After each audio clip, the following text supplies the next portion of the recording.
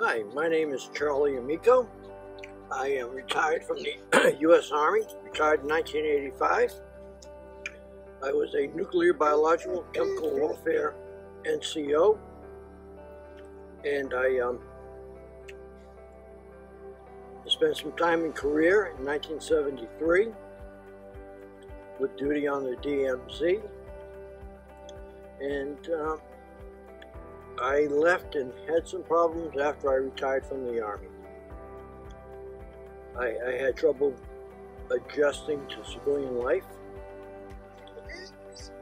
I was very guarded and as I grew older, some of my military related disabilities started to really kick in.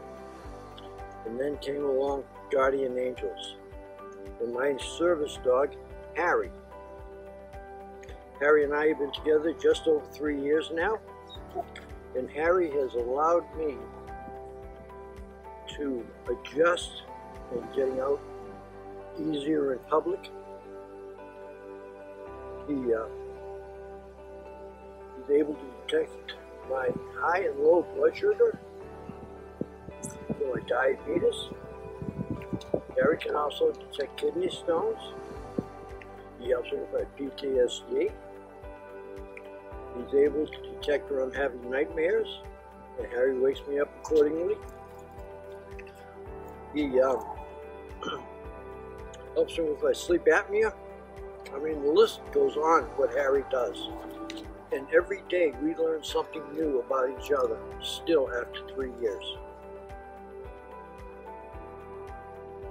Guardian angels made this all possible.